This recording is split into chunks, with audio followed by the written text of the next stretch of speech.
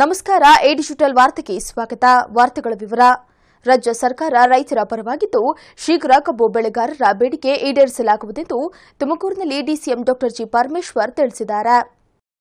ರಾಜ್ಯ ಸರ್ಕಾರ ಕಬ್ಬು ಬೆಳೆಗಾರರ ಪರವಾಗಿದೆ. ಆದರೆ ಬರಬೇಕಾದ ಬಾಕಿ ಹಣ ಕೊಡಿಸಲು ಎಲ್ಲ ರೀತಿಯ ಪ್ರಯತ್ನ ಸಾಗಿದೆ. ಸರ್ಕಾರ ಈಗಾಗಲೇ ರೈತರೊಂದಿಗೆ, ಕಾರ್ಖಾನೆ ಮಾಲೀಕರೊಂದಿಗೆ ಸಭೆ ನಡೆಸಿ ಬೆಳಗಾವಿ ಅಧಿವೇಶನ ಸಂದರ್ಭದಲ್ಲಿ ಅಂತಿಮವಾಗಿ ತೀರ್ಮಾನಿಸಲಾಗುವುದೆಂದು ಉಪ ಮುಖ್ಯಮಂತ್ರಿ ಡಾ ಜಿ ಪರಮೇಶ್ವರ್ ತಿಳಿಸಿದರು.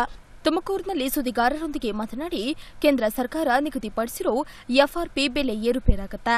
ಅದರ ಮೇಲೆ ಸಕ್ಕರೆ ಕಾರ್ಖಾನೆ ಮಾಲೀಕರು ಕಬ್ಬಿನ ಬೆಲೆ ನಿಗದಿಪಡಿಸುತ್ತಾರೆ ಕೆಲವು ಸಂದರ್ಭ ಎಫ್ಆರ್ಪಿ ಬೆಲೆಗಿಂತ ಹೆಚ್ಚು ಸಿಗುತ್ತೆ, ಕಡಿಮೆಯೂ ಸಿಗುತ್ತೆ?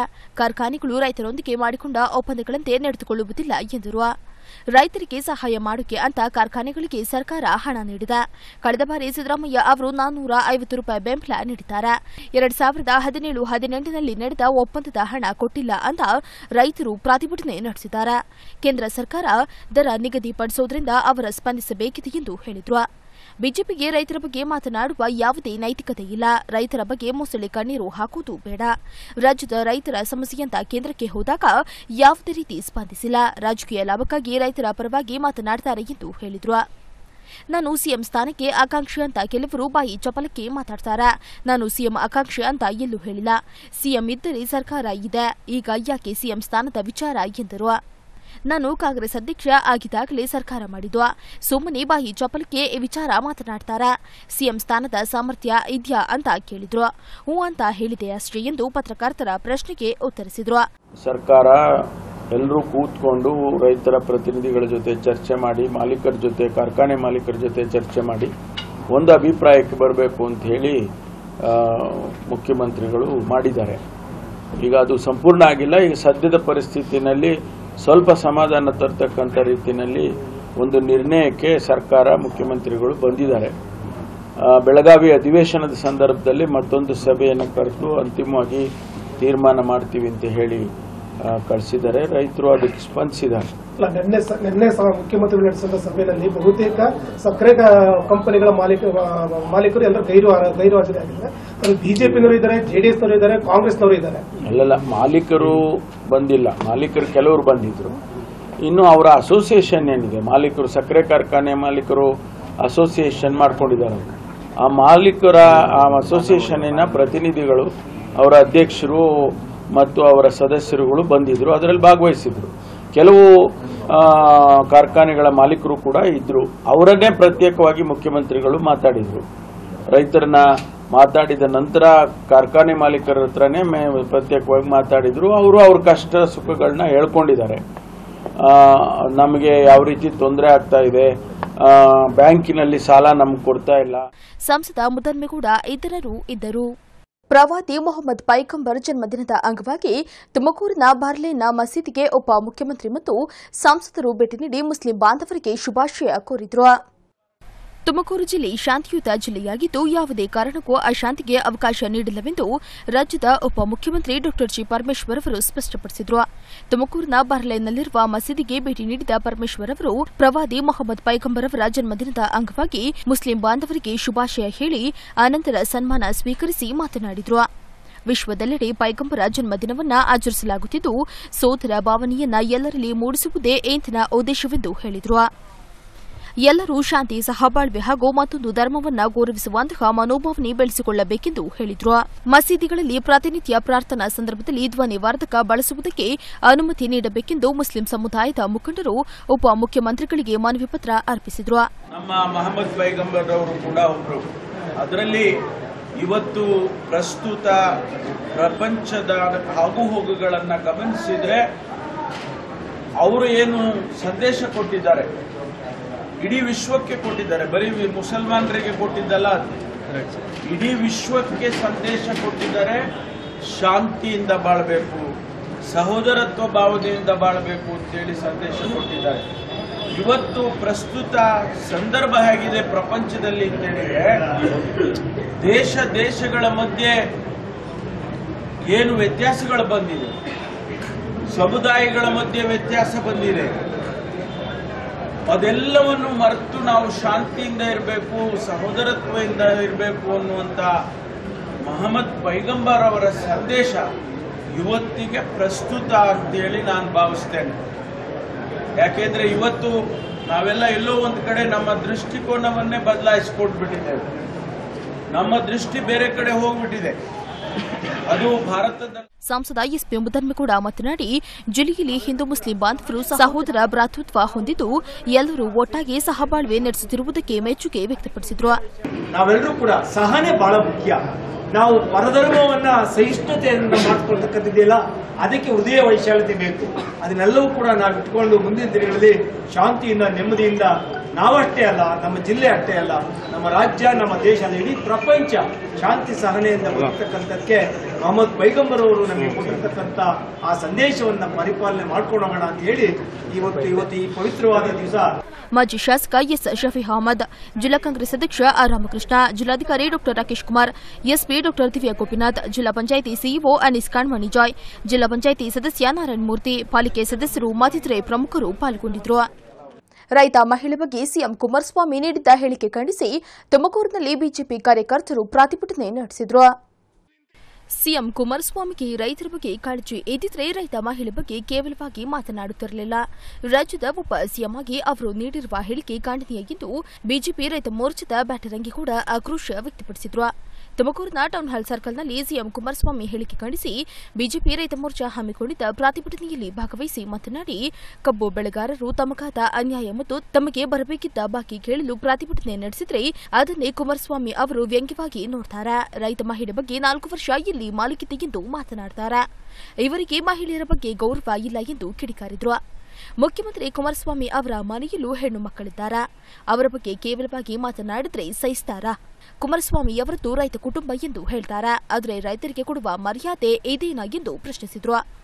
ರಾಜ್ಯದಲ್ಲಿ ಸಮ್ಮಿಶ್ರ ಸರ್ಕಾರ ರೈತ ವಿರೋಧಿಯಾಗಿದೆ. ರೈತರ ಹಿತ ಕಾಯಿದೆ ಅವರನ್ನ ಸಂಕಷ್ಟಕ್ಕೆ ತುಳಿಯುವ ಮೂಲಕ ಅವರ ಬದುಕಿಗೆ ಹೊಡೆತ ನೀಡಿದೆ. ಅಲ್ಲದೆ ಸರ್ಕಾರದಲ್ಲಿರುವ ಸಚಿವರು ಶಾಸಕ ಒಡೆತನದ ಕಬ್ಬು ಕಾರ್ಖಾನೆಗಳಿಂದಲೇ ಬೆಳೆಗಾರರಿಗೆ ಅನ್ಯಾಯವಾಗುತ್ತಿದೆ. ಈ ಕೂಡಲೇ ಬೆಳೆಗಾರರಿಗೆ ಬರಬೇಕಾದ ಬಾಕಿ ಹಣ ನೀಡಬೇಕು. ಇಲ್ಲವಾದಲ್ಲಿ ಮುಂದೆ ಬಿಜೆಪಿ ಕಾರ್ಯಕರ್ತರು ಬೀದಿಗಿಳಿದು ಹೋರಾಟ ಮಾಡಲಿದ್ದಾರೆ ಎಂದು ಎಚ್ಚರಿಕೆ ನೀಡಿದ್ರು.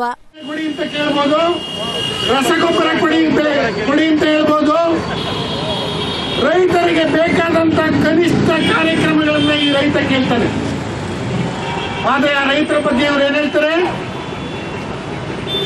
ಇವರು, ಇವರ ತಂದೆ, ಇವರ ಫ್ಯಾಮಿಲಿ ರಾಜಕೀಯವಾಗಿ ಬಹಳ ಅನುಭವ ಇರ್ತಕ್ಕಂಥ ಮನೆತನ. ಈ ರಾಜ್ಯದ ರೈತರನ್ನ, ಜನರನ್ನ ಬಹಳ ಗೌರವತ್ವವಾಗಿ ನಡೆಸ್ಕೊಂತಕ್ಕಂಥ ಮನೆತನ. ಆ ಮನೆತನದಿಂದ ಬಂದಿರತಕ್ಕಂಥ ಮಾನ್ಯ ಕುಮಾರಸ್ವಾಮಿ ಅವರು ನಮ್ಮ ರೈತರ ಬಗ್ಗೆ ಏನಂತ ಮಾತಾಡ್ತಾ ಇದ್ದಾರೆ?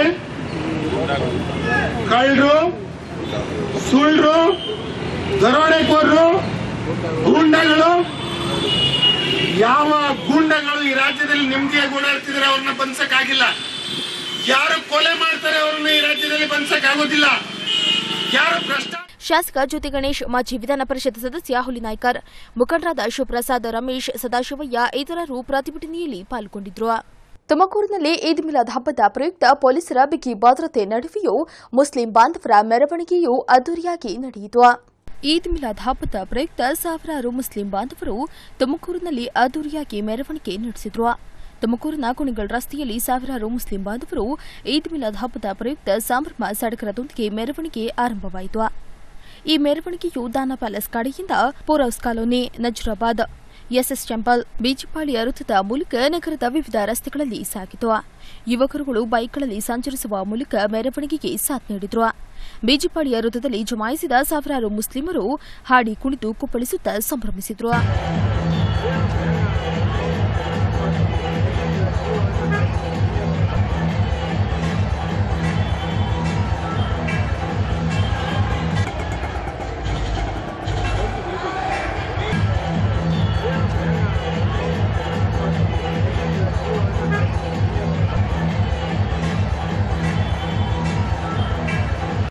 ಲಕ್ಕಪ್ಪ ಸರ್ಕಲ್ನಿಂದ ಗೋಬಿಗೇಟ್ ಕಡೆಗೆ ವಾಹನಗಳ ಸಂಚಾರ ಅಸ್ತವ್ಯಸ್ತವಾಗಿತ್ತು.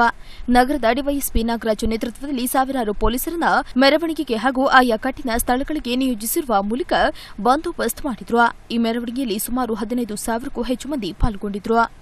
ಟಿಪಟೂರಿನಲ್ಲಿ ಈದ್ ಮಿಲಾದ್ ಹಬ್ಬದ ಪ್ರಯುಕ್ತ ವಿವಿಧ ಸಂಘಟನೆಗಳು ಆಸ್ಪತ್ರೆಯ ರೋಗಿಗಳಿಗೆ ಹಣ್ಣುಗಳನ್ನು ವಿತರಿಸಲಾಯಿತು.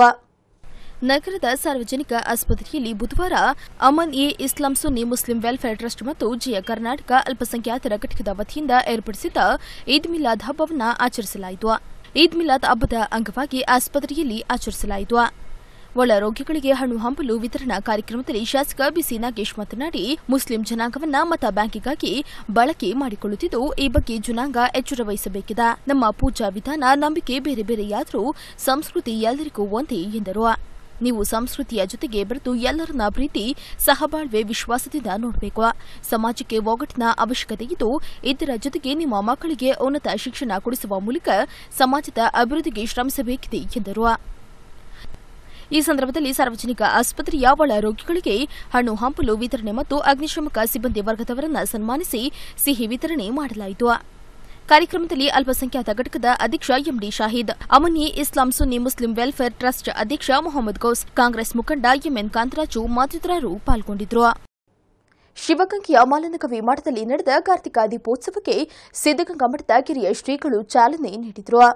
ಶಿವಗಂಗೆಯ ಮೆಲ್ಲಣಗವಿ ಮಠದಲ್ಲಿ ಆಯೋಜಿಸಿದ ಕಾರ್ತಿಕ ದೀಪೋತ್ಸವ ಕಾರ್ಯಕ್ರಮಕ್ಕೆ ಸಿದ್ದಗಂಗಾ ಮಠದ ಕಿರಿಯ ಶ್ರೀಗಳಾದ ಸಿದ್ದಲಿಂಗ ಮಹಾಸ್ವಾಮಿಗಳು ಚಾಲನೆ ನೀಡಿದರು.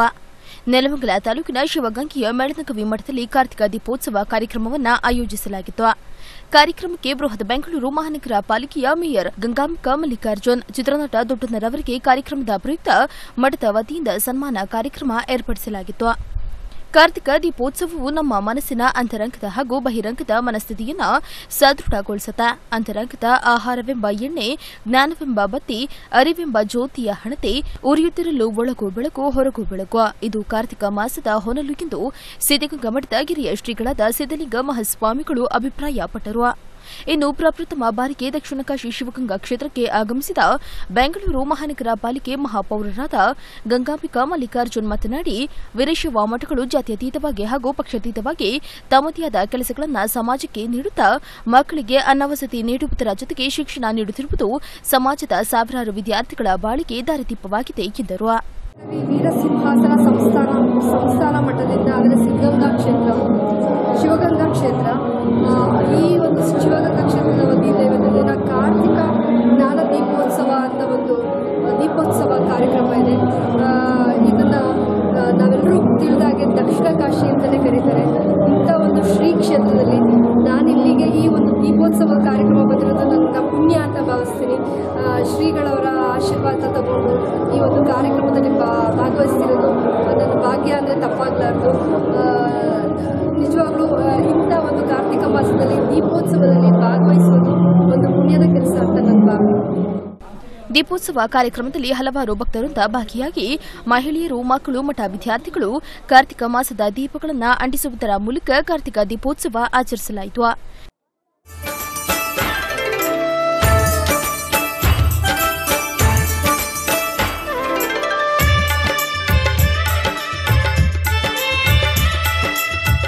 ಕಾರ್ಯಕ್ರಮದ ವಿಭೂತಿಪುರ ಮಠದ ಡಾಕ್ಟರ್ ಮಹಾಂತಲಿಂಗ ಶಿವಾಚಾರ್ಯ ಸ್ವಾಮೀಜಿ ಬಂಡೆಮಠದ ಬಸವಲಿಂಗ ಸ್ವಾಮೀಜಿ ಹೊನ್ನಮಗವಿ ಮಠದ ರುದ್ರಮುನಿ ಶಿವಾಚಾರ್ಯ ಸ್ವಾಮೀಜಿ, ಚಲನಚಿತ್ರ ನಟ ದೊಡ್ಡಣ್ಣ ಉಪಸ್ಥಿತರಿದ್ದರು. ತುಮಕೂರಿನ ದುರ್ಗಾಂಬ ದೇವಸ್ಥಾನದ ಮುಂಭಾಗ ನೀರಿನ ಟ್ಯಾಂಕ್ ನಿರ್ಮಿಸುವಂತೆ ಅಧಿಕಾರಿಗಳಿಗೆ ಸೂಚಿಸಬೇಕೆಂದು ದಲಿತ ಮುಖಂಡರುಗಳು ಉಪಮುಖ್ಯಮಂತ್ರಿಗಳಿಗೆ ಮನವಿ ಪತ್ರ ಅರ್ಪಿಸಿ ಆಗ್ರಹಿಸಿದರು. ತುಮಕೂರಿನ ಹಳೆ ಮಾರ್ಕೆಟ್ ಬಳಿಯಲ್ಲಿರುವ ದುರ್ಗಾಂಬ ದೇವಸ್ಥಾನದ ಮುಂಭಾಗ ಇರುವ ಜಾಗ ದೇವಸ್ಥಾನಕ್ಕೆ ಸೇರಿದ್ದು, ಆ ಜಾಗದಲ್ಲಿ ನೀರಿನ ಟ್ಯಾಂಕ್ ಕಟ್ಟುವಂತೆ ಪಾಲಿಕೆ ಸೂಚನೆ ನೀಡಬೇಕೆಂದು ಉಪಮುಖ್ಯಮಂತ್ರಿ ಡಾ ಪರಮೇಶ್ವರ್ ಒತ್ತಾಯಿಸಿದರು. ತುಮಕೂರಿನ ಬಾರ್ಲೈನ್ನ ಮಸೀದಿಗೆ ಉಪಮುಖ್ಯಮಂತ್ರಿ ಡಾ ಜಿ ಪರಮೇಶ್ವರ್ ಭೇಟಿ ನೀಡಿದ ಸಂದರ್ಭದಲ್ಲಿ ದಲಿತ ಮುಖಂಡರು ಉಪಮುಖ್ಯಮಂತ್ರಿಗಳು ಭೇಟಿ ನೀಡಿ ಅವರಿಗೆ ಮನವಿ ಪತ್ರ ಅರ್ಪಿಸಿದರು. ದುರ್ಗಾಂಬ ದೇವಸ್ಥಾನ ಅಭಿವೃದ್ಧಿ ಟ್ರಸ್ಟ್ನ ಸಮಿತಿಗೆ ಖಾತೆ ಪಹಣಿ ಮಾಡಿಕೊಡಲು ಸಂಬಂಧಿಸಿದವರಿಗೆ ಸೂಚನೆ ನೀಡಬೇಕೆಂದು ದಲಿತ ಮುಖಂಡರು ಆಗ್ರಹಿಸಿದರು. ಮುಖಂಡರುಗಳಾದ ವಾಲಿಚಂದ್ರ, ನರಸಿಂಹಮೂರ್ತಿ, ಬಿಎನ್ ರಾಮಯ್ಯ, ಕಿರಣ್ ಗೋಪಾಲ್ ಮತ್ತಿತರೆ ಪ್ರಮುಖರು ಈ ಸಂದರ್ಭದಲ್ಲಿ ಪಾಲ್ಗೊಂಡಿದ್ರು. ತುಳಸಿ ಹಬ್ಬವನ್ನ ಮಹಿಳೆಯರು ಶ್ರದ್ಧಾ ಭಕ್ತಿಯಿಂದ ಆಚರಿಸಿದ್ರು. ಕಾರ್ತಿಕ ಮಾಸದಲ್ಲಿ ತುಳಸಿ ಹಬ್ಬವೆಂದರೆ ಮಹಿಳೆಯರಿಗೆ ಸಂಭ್ರಮವೋ ಸಂಭ್ರಮ. ದೀಪಾವಳಿ ಹಬ್ಬವಾದ ನಂತರ ಬರುವ ತುಳಸಿ ಹಬ್ಬವೇ ಮಹಿಳೆಯರಿಗೆ ವಿಶಿಷ್ಟವಾದದ್ದು.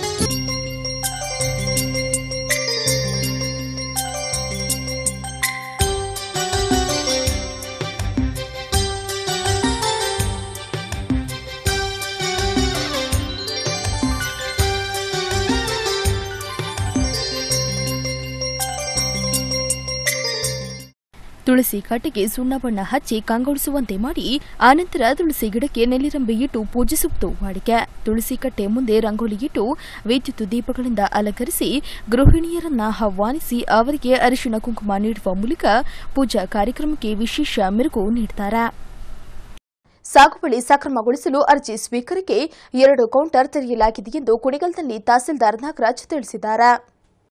ರಾಜ್ಯ ಸರ್ಕಾರದ ಮಹತ್ತರ ಕಾರ್ಯಕ್ರಮವಾದ ಸರ್ಕಾರಿ ಜಮೀನುಗಳಲ್ಲಿ ಅನಧಿಕೃತ ಸಾಗುವಳಿ ಸಕ್ರಮಗೊಳಿಸಲು ನಮೂನೆ ಐವತ್ತೇಳರ ಸ್ವೀಕೃತಿಗೆ ತಾಲೂಕು ಕಚೇರಿ ಆವರಣದಲ್ಲಿ ಎರಡು ಕೌಂಟರ್ ಸ್ಥಾಪಿಸಲಾಗುವುದೆಂದು ತಹಸೀಲ್ದಾರ್ ಎಸ್ ನಾಗರಾಜ್ ತಿಳಿಸಿದರು. ಕುಣಿಗಲ್ ಪಟ್ಟಣದಲ್ಲಿ ಸುದ್ದಿಗೋಷ್ಠಿಯಲ್ಲಿ ವಿವರ ನೀಡಿದ ಅವರು, ಸರ್ಕಾರಿ ಜಮೀನುಗಳಲ್ಲಿ ಅನಧಿಕೃತ ಸಾಗುವಳಿಯನ್ನ ಗುರುತಿಸಿ ಸಕ್ರಮಗೊಳಿಸಲು ಕರ್ನಾಟಕ ಭೂ ಕಂದಾಯ ನಿಯಮ, ಸಾವಿರದ ಒಂಬೈನೂರ ಅರವತ್ತಾರರ ನಿಯಮ, ನೂರ ಎಂಟು ಸಿಸಿಯನ್ನ ಸೇರ್ಪಡೆಗೊಳಿಸಿ ನಮೂನೆ ಐವತ್ತೇಳು ಸ್ವೀಕರಿಸಲು ವ್ಯವಸ್ಥೆ ಮಾಡಲಾಗಿದ್ದು, ಸದರಿ ಅರ್ಜಿ ಸ್ವೀಕರಿಸಲು ಎರಡ್ ಸಾವಿರದ ಹತ್ತೊಂಬತ್ತರ ಮಾರ್ಚ್ ಹದಿನಾರಕ್ಕೆ ಕೊನೆ ದಿನವಾಗಿದೆ. ತಾಲೂಕು ಕಚೇರಿಯ ಕೌಂಟರ್ನಲ್ಲಿ ನೂರು ರೂಪಾಯಿ ಪಾವತಿಸಿ ಅಧಿಕೃತ ಕೌಂಟರ್ನಿಂದಲೇ ನಿಗದಿತ ಅರ್ಜಿ ನಮೂನೆ ಪಡೆದು ಅಗತ್ಯ ದಾಖಲೆಗಳೊಂದಿಗೆ ಅರ್ಜಿ ಸಲ್ಲಿಸಬೇಕಿದೆ. ಈಗಾಗಲೇ ನಮೂನೆ ಐವತ್ತು ಮತ್ತು ಐವತ್ಮೂರರಲ್ಲಿ ಅರ್ಜಿ ಸಲ್ಲಿಸಿದವರು ಪುನಃ ಅರ್ಜಿ ಸಲ್ಲಿಸುವಂತಿಲ್ಲ. ಎರಡ್ ಸಾವಿರದ ಐದರಿಂದಲೂ ಜಮೀನು ಉಳುಮೆ ಮಾಡುತ್ತಿರುವ ಫಲಾನುಭವಿಯೇ ಅರ್ಜಿ ಸಲ್ಲಿಸಬೇಕು. ಯಾವುದೇ ವಿಷಯಕ್ಕೂ ಮಧ್ಯವರ್ತಿಗಳ ಮಾಹಿತಿಗೆ ಕಿವಿಗೊಡದೆ ಅರ್ಜಿದಾರರು ತಾಲೂಕು ಕಚೇರಿಗೆ ಸಂಪರ್ಕಿಸಿ ಅಗತ್ಯ ಮಾಹಿತಿ ಪಡೆಯಬೇಕು. ದಿನಂಪ್ರತಿ ಸಲ್ಲಿಸಲಾದ ಅರ್ಜಿಗಳನ್ನು ತಾವೇ ಖುದ್ದು ಪರಿಶೀಲಿಸಿ ಮರುದಿನ ಜನತೆಗೆ ಮಾಹಿತಿ ನೀಡಲಾಗುವುದೆಂದು ಹೇಳಿದ್ರು. ಡೇಟ್ ಹೇಳಿದ್ನಲ್ಲ ಹದಿನಾರು ಮೂರು ಎರಡು ಸಾವಿರದ ಹತ್ತೊಂಬತ್ತರವರೆಗೂ ಅವಕಾಶ ಬೇರೆ ರೀತಿಯಲ್ಲಿ ಬರ್ಕೊಳ್ಳೋದು ಇದೆ. ಅದಕ್ಕೆ ಸರ್ಕಾರ ಒಂದು ಡೈಟ್ ಕಟ್ ಆಫ್ ಡೇಟ್ ಕೊಟ್ಟಿದೆ. ಎರಡು ಸಾವಿರದ ಐದರಿಂದ ಹಿಂದೆ ಅವ್ರು ಮಾಡಿರಬೇಕು. ಭೂಮಿನ ಎರಡು ಸಾವಿರದ ಐದರಿಂದ ಹಿಂದೆ ಅವರು ಮಾಡಿರ್ಬೇಕಂದ್ರೆ ಅಷ್ಟು ವರ್ಷಗಳ ಗೊತ್ತು. ಜಮೀನು ನೋಡಿದ ತಕ್ಷಣ ಹಸನಾಗಿರ್ಬೇಕು ಅದು ಉಳುಮೆ ಮಾಡಿರದ ಅಂತ ಕನ್ಫರ್ಮ್ ಆಗಬೇಕು. ಆ ರೀತಿ ನಾನು ರಿಜಿಸ್ಟರ್ ಮಾಡಿ ನಾನು ಪ್ರತಿದಿನ ಸೈನ್ ಹಾಕ್ಸ್ತೀನಿ. ಆ, ಅದು ನೀವು ಕನ್ಫರ್ಮೇಷನು ಹಾಕ್ಬಿಡ್ತೀವಿ. ಇಷ್ಟು ಜನ ಇಷ್ಟು ಅರ್ಜಿ ಬಂದಿದೆ ಅಂತ ಪ್ರತಿದಿನ ನೋಟಿಸ್ ಕೊಡೋದು ಹಾಕ್ಸ್ಬೇಕು ಪ್ರತಿದಿನ ಹಾಕಬೇಕು. ಪರವಾಗಿ ಹಾಕೋ ಪ್ರಶ್ನೆ ಬರೋದಿಲ್ಲ. ಯಾರು ಉಳುಮೆ ಮಾಡಿರ್ತಾರೆ ಅವರೇ ಮಾಡ್ತಾರೆ. ಈಗ ಮೋಸ್ಟ್ಲಿ ಹಿಂದೆ ತಂದೆ ಹಾಕಿದ್ರು ಅಂದ್ಕೊಂಡು ಈಗ ಮೊಮ್ಮಗ ಮಗನೋ ಮೊಮ್ಮಗನೋ ಇರ್ತಾರೆ. ಅವ್ನಿಗೆ ಏಜ್ ಆಗಿರುತ್ತೆ. ವಯಸ್ಸಿಗೆ ಬಂದಿದ್ರೆ ಅವರು ಇದನ್ನ ಹಾಕ್ಬೇಕು. ಅವ್ರ ಹೆಸರಲ್ಲೇ ಹಾಕೋದು ತಾವು ಹಾಕೋರು ತಾತ ಹೆಸರಲ್ಲಿ ಹಾಕ್ಬೇಕು. ಇಲ್ಲ. ಅಲ್ಲ ಅಲ್ಲ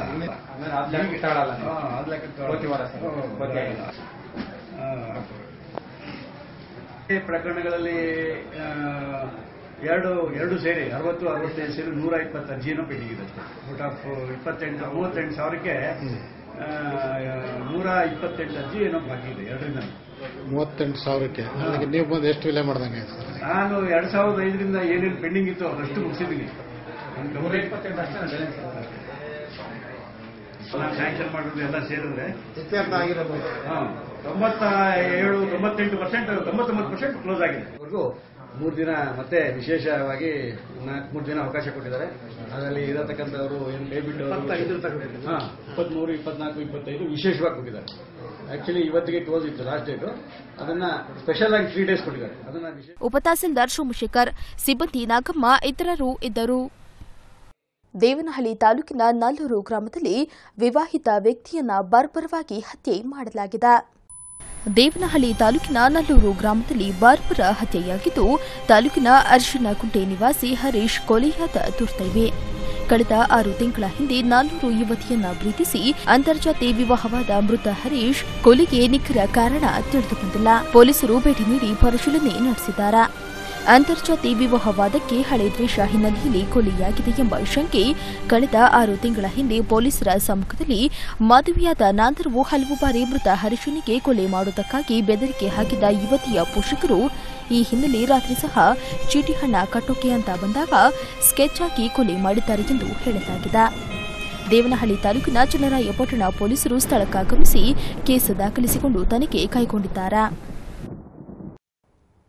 ನೆಲಮಂಗಲದಲ್ಲಿ ಆನ್ಲೈನ್ ಸುರಕ್ಷತೆ ಮತ್ತು ಮಾದಕ ವ್ಯಸನದ ಪರಿಣಾಮದ ಬಗ್ಗೆ ವಿದ್ಯಾರ್ಥಿಗಳು ಜಾಗೃತಿ ಜಾಥಾ ನಡೆಸಿದ್ರು. ನೆಲಮಂಗಲ ಪಟ್ಟಣದ ಮುರಳಿ ಪದವಿಪೂರ್ವ ಕಾಲೇಜು ಆವರಣದಲ್ಲಿ ಗ್ರಾಮಾಂತರ ಜಿಲ್ಲೆ ಮಕ್ಕಳ ಸಹಾಯವಾಣಿ, ಮಕ್ಕಳ ಸ್ನೇಹಿವಾರ ಆನ್ಲೈನ್ ಸುರಕ್ಷತೆ ಮತ್ತು ಮಾದಕ ದ್ರವ್ಯ ವ್ಯಸನದ ಕುರಿತು ಮೌನಜನ ಜಾಗೃತಿ ಜಾಥಾ ನಡೆಯಿತು. ಆನ್ಲೈನ್ ಸುರಕ್ಷತೆ ಮತ್ತು ಮಾದಕ ದ್ರವ್ಯ ವ್ಯಸನದ ಕುರಿತು ಮೌನಜನ ಜಾಗೃತಿ ಜಾಥಾಕ್ಕೆ ಜಿಲ್ಲಾ ಮಕ್ಕಳ ರಕ್ಷಣಾಧಿಕಾರಿ, ಅನ್ನಪೂರ್ಣ ಹಾಗೂ ತಾಲೂಕು ಮಕ್ಕಳ ಸಹಾಯವಾಣಿ ನಿರ್ದೇಶಕ ರಾಮು ಜೋಗಿಹಳ್ಳಿ ಚಾಲನೆ ನೀಡಿದರು. ನಂತರ ರಾಮು ಜೋಗಿಹಳ್ಳಿ ಮಾತನಾಡಿ ಮಕ್ಕಳು ಅಂತರ್ಜಾಲ ಸಾಮಾಜಿಕ ಜಾಲತಾಣದಲ್ಲಿ ಅತ್ಯಮೂಲ್ಯ ಸಮಯ ವ್ಯರ್ಥ ಮಾಡುತ್ತಿರುವುದು ಒಂದೆಡೆಯಾದರೆ ಸುರಕ್ಷತೆ ಇಲ್ಲದ ಅಂತರ್ಜಾಲದಿಂದಾಗಿ ತೊಂದರೆಗೆ ಒಳಗಾಗುತ್ತಿದ್ದಾರೆ. ಮೋಜು ಮಸ್ತಿಗಾಗಿ ಮಾದಕ ದ್ರವ್ಯಗಳ ವ್ಯಸನಿಗಳಾಗಿ ಅತ್ಯಮೂಲ್ಯ ಜೀವನ ಹಾಳು ಮಾಡಿಕೊಳ್ಳುತ್ತಿದ್ದಾರೆ. ಇನ್ನೊಂದೆಡೆ ಮಾದಕ ದ್ರವ್ಯಗಳ ವ್ಯಸನಿಗಳಾಗಿ ಕೆಲ ಅಪರಾಧಗಳಿಗೆ ಮುಂದಾಗುತ್ತಿದ್ದಾರೆ. ಇದು ಒಳ್ಳೆಯ ಬೆಳವಣಿಗೆಯಲ್ಲ ಎಂದರು. ಮತ್ತೆ ಎಲ್ಲಿ ಮಕ್ಕಳಿಗೆ ತುಂಬ ಅನ್ಯಾಯ ಆಗ್ತದೆ ಅಂತ ಕಡೆ ಒಂದು ಅವೇರ್ನೆಸ್ ಕಾರ್ಯಕ್ರಮವನ್ನು ಮಾಡ್ತಾ ಇದ್ದೇವೆ. ಹಾಗೆಯೇ ಇವತ್ತಿನ ದಿನಗಳಲ್ಲಿ ಆನ್ಲೈನ್ ಥ್ರೆಟ್ಟಿಂಗ್ ಏನಿದೆ, ಮಕ್ಕಳಲ್ಲಿ ಈ ಮೊಬೈಲು ಮತ್ತು ಆನ್ಲೈನ್ ಪ್ರಭಾವ ಹೇಗಾಗ್ತದೆ ಮತ್ತು ದುಷ್ಪರಿಣಾಮ ಏನಾಗ್ತದೆ ಅನ್ನೋದ್ರ ಬಗ್ಗೆ ಕಾಲೇಜುಗಳಲ್ಲಿ ಉಪನ್ಯಾಸವನ್ನು ನೀಡ್ತೇವೆ.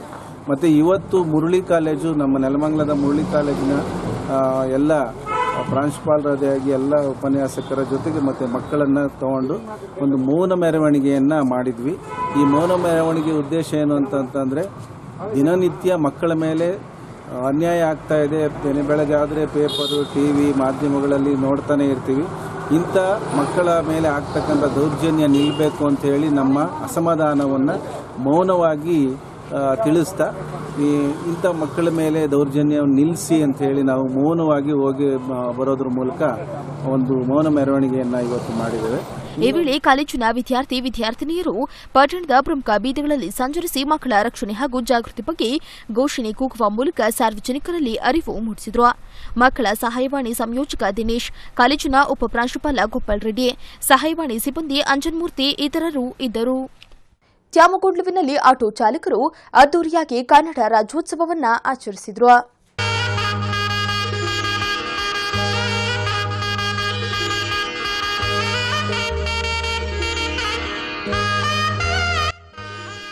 ತ್ಯಾಮಗೊಂಡ್ಲು ಹೋಬಳಿಯ ಮುದ್ದಲಿಂಗಯ್ಯನ ರೈಲ್ವೆ ಗೇಟ್ ಬಳಿ ಚಿರಜ್ಯೋತಿ ಆಟೋ ಚಾಲಕರು ಹಾಗೂ ಮಾಲೀಕರ ಸಂಘದಿಂದ ನಾಲ್ಕನೇ ವರ್ಷದ ಕನ್ನಡ ರಾಜ್ಯೋತ್ಸವ ಆಚರಿಸಿ ಕನ್ನಡಾಂಬಕ್ಕೆ ನಮನ ಸಲ್ಲಿಸಿದ್ರು. ತ್ಯಾಮಗೊಂಡ್ಲು ಮುದ್ದಲಿಂಗನಹಳ್ಳಿಯ ಮುಖಂಡ ಗಂಗಾಧರಪ್ಪ ಧ್ವಜಾರೋಹಣ ನೆರವೇರಿಸಿದ್ರು. ಈ ವೇಳೆ ಜೆಡಿಎಸ್ ಮುಖಂಡ ಬಾರ್ತಿಪುರ ಶ್ರೀನಿವಾಸ್ ಮಾತನಾಡಿ, ಕನ್ನಡ ಎಂಬುದು ಕನ್ನಡಿಗರಲ್ಲಿ ಒಂದು ದಿನದ ಆಚರಣೆಯಾಗಬಾರದು. ಕನ್ನಡದ ಸಂಸ್ಕೃತಿಗೆ ಬಹಳಷ್ಟು ಸ್ಥಾನಮಾನ ಹಾಗೂ ಎರಡು ಸಾವಿರ ವರ್ಷಗಳ ಇತಿಹಾಸವಿದೆ. ನಮ್ಮ ನಾಡಿನ ಜಲ ನಾಡು ನುಡಿ ಬಗ್ಗೆ ಪ್ರತಿಯೊಬ್ಬರು ಗೌರವ ನೀಡಬೇಕು. ಮುದ್ದಲಿಂಗನಹಳ್ಳಿಯಲ್ಲಿ ಆಟೋ ಓಡಿಸುವ ಪ್ರತಿಯೊಬ್ಬ ಚಾಲಕನಿಗೂ ಸಮವಸ್ತ್ರವನ್ನು ಉಚಿತವಾಗಿ ನೀಡುತ್ತಾನೆ ಆಟೋ ಚಾಲಕರು ಸಹ ಸಾರ್ವಜನಿಕರನ್ನ ಮಾನವೀಯತೆಯಿಂದ ನೋಡಿಕೊಳ್ಳಬೇಕು. ನಮ್ಮ ಮುದ್ದಿನಲ್ಲಿ ಆಟೋ ಚಾಲಕರು ಎಷ್ಟು ಆಟೋಗಳಿದಾವೋ ಅಷ್ಟು ಆಟೋಗಳಿಗೂ ಆಟೋ ಚಾಲಕರಿಗೂ ಅವರಿಗೆ ಡ್ರೆಸ್ ಅನ್ನ ಕಾಕಿ ಡ್ರೆಸ್ ಅನ್ನ ನಾನು ಅದನ್ನ ಒದಗಿಸ್ಕೊಡ್ತೀನಿ ಕೆಲವೇ ದಿನಗಳಲ್ಲಿ ಒದಗಿಸ್ಕೊಡ್ತೀನಿ ಅದನ್ನ ಖಂಡಿತವಾಗ್ಲೂ ಯಾರು ಅನ್ನತ ಬೋಸ್ಬಾರ್ದು ನಮ್ಮ ಆಟೋ ಚಾಲಕರು ಅದನ್ನ ಸ್ವೀಕರಿಸಬೇಕು ಅಂತ ನಾನು ಕೇಳ್ಕೊಂತ ಇದ್ದೀನಿ. ಅದೇ ರೀತಿಯಾಗಿ ನಮ್ಮ ಪಕ್ಕದಲ್ಲಿ ಇಂಡಸ್ಟ್ರಿ ಏರಿಯಾ ತುಂಬಾ ಅತಿ ಹೆಚ್ಚಿನಾಗಿ ಬೆಳೆದಿದೆ. ಅದನ್ನ ನಮ್ಮ ನಮ್ಮ ಮಾಧ್ಯಮ ಮಿತ್ರರು ಅದನ್ನೆಲ್ಲ ಗಮನ ಇಡಬೇಕಾಗುತ್ತೆ. ಹೊರದೇಶದಿಂದ ಬಂದು ಪಾಪ ಅವ್ರು ಎಲ್ಲರೂ ಬಂದು ಇಲ್ಲಿ ಕೆಲಸ ಮಾಡ್ತಾರೆ. ನಮ್ಮ ಕನ್ನಡಿಗರಿಗೆ, ನಮ್ಮ ಕರ್ನಾಟಕ ಜನತೆಗೆ ಕೆಲಸ ಇಲ್ದಂಗೆ ಆಗಿದೆ. ಲೋಕಲ್ಲು ಅಂತ ಹೇಳಿದ್ರೆ ಸಾಕು, ಏ, ಲೋಕಲ್ ಬೇಡಪ್ಪ, ತರಲೆ ಮಾಡ್ತಾರೆ, ಅದು ಮಾಡ್ತಾರೆ, ಇದು ಮಾಡ್ತಾರೆ. ಅಂತ ಅದು ಬೆಳ್ಕೊಂಡು ಹೋಗ್ಬಿಟ್ಟಿದೆ. ಅದು ನಮ್ಮ ರಾಜಕಾರಣಿಗಳಾಗಿರ್ಬೋದು ನಮ್ಮ ಅಧಿಕಾರಿಗಳಾಗಿರ್ಬೋದು ಅದನ್ನ ಗಮನಕ್ಕೆ ತಗೊಂಡು ಖಂಡಿತವಾಗ್ಲೂ ನಮ್ಮ ಸ್ಥಳೀಯರಿಗೆ ಮೊದಲು ಅದನ್ನ ಅವಕಾಶ ಕೊಡಬೇಕು ಅಂತ ಹೇಳಿ ನಾನು ಈ ವೇದಿಕೆ ಮೇಲೆ ಕೇಳ್ಕೊಳಕ್ಕೆ ಇಷ್ಟಪಡ್ತೀನಿ. ಇದೇ ವೇಳೆ ಜೂನಿಯರ್ ರಾಜ್ಕುಮಾರ್ ಹಾಗೂ ಜೂನಿಯರ್ ಉಪೇಂದ್ರ ಇವರ ನೃತ್ಯ ಎಲ್ಲರ ಮೆಚ್ಚುಗೆಗೆ ಪಾತ್ರವಾಯಿತು.